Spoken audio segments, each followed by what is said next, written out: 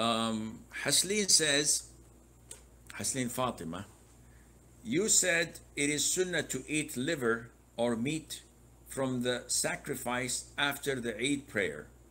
This sunnah is applicable for the one who is giving sacrifice or all the family. No, all the whole family. If the whole family can wait, then this is highly recommended.